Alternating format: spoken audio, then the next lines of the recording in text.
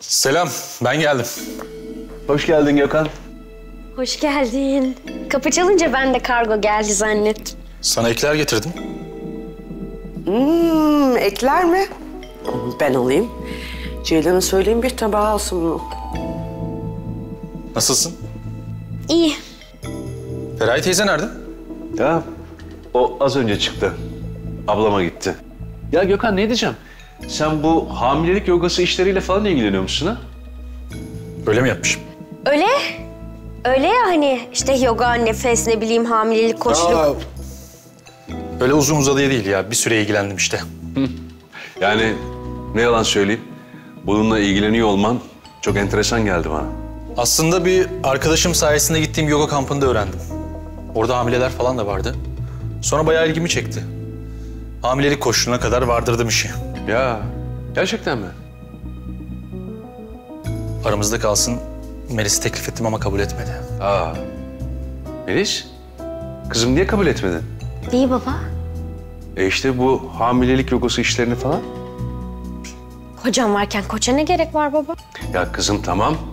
Haklısın orası öyle ama yani Ege'nin bu ara işleri çok yoğun. Sana yeteri kadar vakit ayıramayabilir.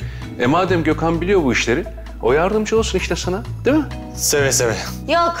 Yok baba ya. Yani Gökhan'ın da şimdi işi başından aşkındır. Gerek yok. Yok canım, benim için sorun yok. Hobi olarak yapıyorum zaten. Süper. Ha?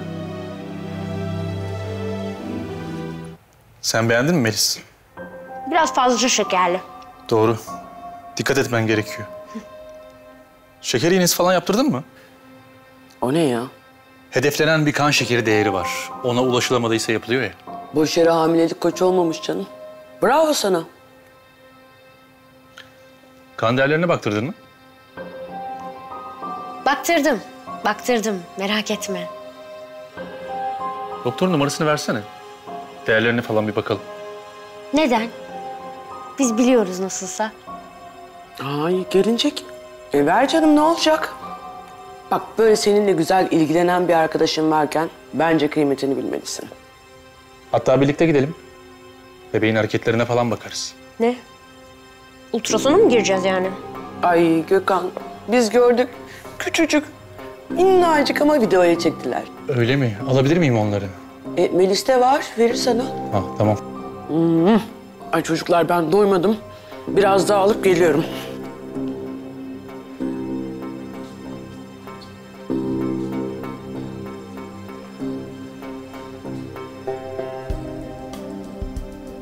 Derdin ne senin? Koçunla düzgün konuş. Öyle bir şey olmayacak. Olacak. Hamilelik koçunum ben senin. Beni bu işe sen soktun, sen çıkartırsın artık.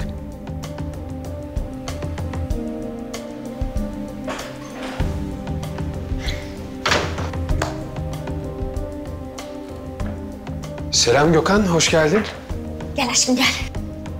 Ya kusura bakma işler bitmedi bir türlü. Oo, ekler yanmış. Melis seviyor diye bayağı aldım. Daha var mutfakta. Eyvallah, alırım birazdan. E siz ne konuşuyordunuz? Hamilelik koçluğunu.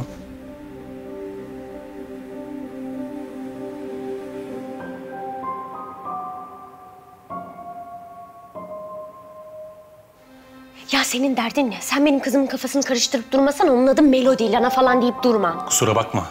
Ölmüş birinin adını kızıma veremem. Hem de feci şekilde ölmüş. Senin derdin ne ya? Hayır senin derdin ne? Git başka bir kadına hamile bırak, onunla evlen. Neden ben? Mesele yalnızca kısım değil. O gece ilk gecende. Seni yıllardır beğeniyorum. Heyecanlısın, deli dolusun. Başka birini aramaya gerek yok ki. Hem paran da var, gözünü para da bürümez. Ben Ege'yi seviyorum. Ben de seni.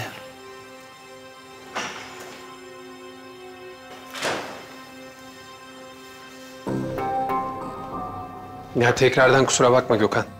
Kusurluk bir şey yok ya, işler önemli. Dedem de beni boğuyor bazen. Gel işlerin başına geç diye. Kaçabildiğim kadar kaçıyorum artık. Benim öyle bir şansım yok. Para kazanmam lazım. E tabii. Çocuk da geliyor yakında. Öyle tabii. Aslında bu hamilelik koçu fikri hiç fena bir fikir değilmiş. Yani ben yakında çok zor bir dava alacağım. O sırada Melis'in yanında senin gibi ona yardımcı olacak biri olursa içim çok rahat eder.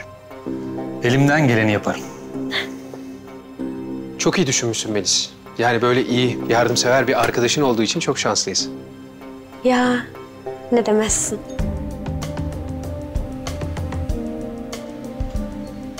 Buradan Yeni hemen, işim hayırlı olsun o zaman. buradan hemen gitmeni istiyorum. Aksine artık hep buradayım. Kızım ve sen benim olacaksınız. Ege'nin değil. Ben Ege'den vazgeçmem. Ondan kopmam anladın mı? Ben koparırım merak etme. Kimse vazgeçilmez değildir.